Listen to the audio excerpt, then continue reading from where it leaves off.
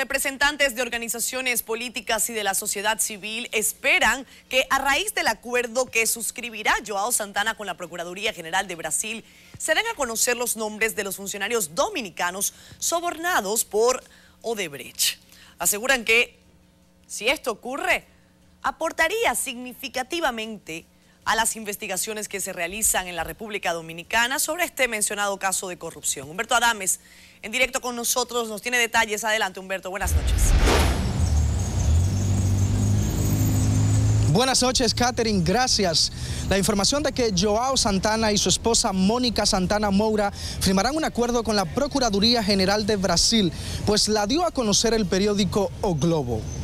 Si bien se dice que con este entendimiento de cooperación judicial, Joao Santana busca que se les reduzca su pena, pues legisladores PLDistas y PRDistas consideraron que de concretarse dicho pacto, pues se podría recolectar información de vital importancia para el proceso de investigación que conduce la Procuraduría General sobre los sobornos entregados por Odebrecht a funcionarios dominicanos. Evidentemente que de ahí tendrán que salir algunos nombres.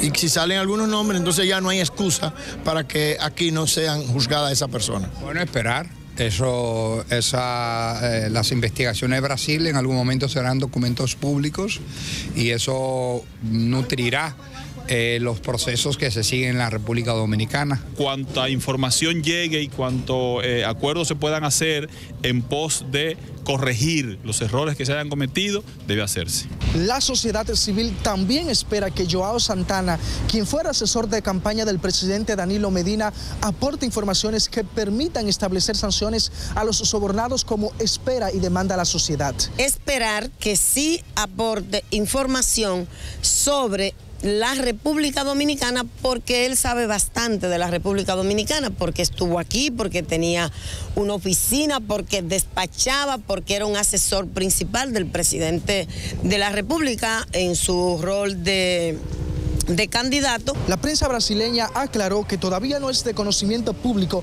si la cooperación que han aceptado prestar Santana y su esposa se limita a las investigaciones que se realizan en Brasil o si será extensiva a otros países donde el caso Odebrecht tocó fondo. Es toda la información que tenemos por el momento. Nosotros retornamos contigo al estudio. Gracias, Humberto. Que tengas buenas noches.